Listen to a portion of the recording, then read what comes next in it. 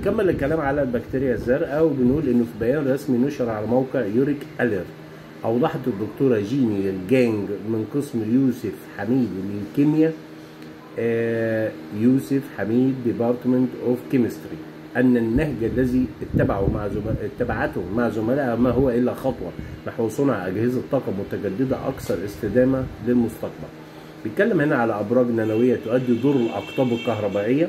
لطالما حفزت البكتيريا الزرقاء السيانوبكتيريا أو بكتيريا التمثيل الضوئي تعتبر من أكثر الكائنات الحية وفرة على الأرض الباحثين على استخلاص الطاقة منها عبر إعادة ربط آليات التمثيل الضوئي الخاصة بها ولكي تنمو تحتاج البكتيريا الزرقاء للكثير من ضوء الشمس. مثل سطح البحيرة في فصل الصيف لابد من ربط البكتيريا بأقطاب كهربائية من أجل استخلاص الطاقة التي تنتجها خلال عملية التمثيل الضوئي وهكذا قام فريق كامبريدج.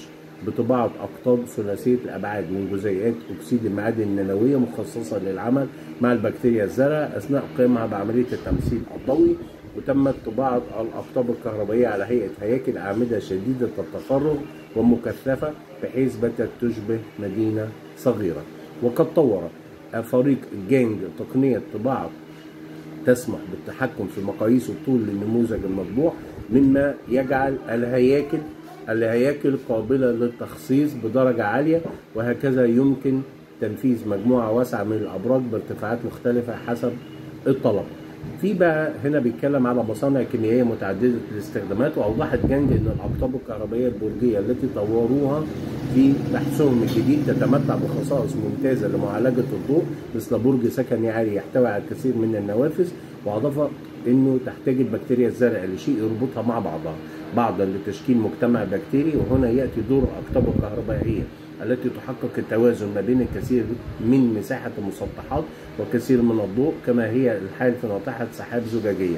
وأوضحت جانج إن البكتيريا الزرقاء هي مصانع كيميائية متعددة الاستخدامات مؤكدا إن استخدام الاقطاب الكهربائية النانوية البرجيه التي طوروها يتيح لنا الاستفادة من مسار تحويل الطاقة في مرحلة مبكرة مما يساعد على فهم كيفية تنفيذ تحويل عملية تحويل الطاقة. حتى نتمكن من استخدامها لتوليد الوقود المتجدد ولتوليد أو لتوليد المواد الكيميائية. وإحنا هنا عندنا نعمة كبيرة الشمس موجودة طول السنة. نقدر نستفيد من هذه التكنولوجيا. مع السلامة.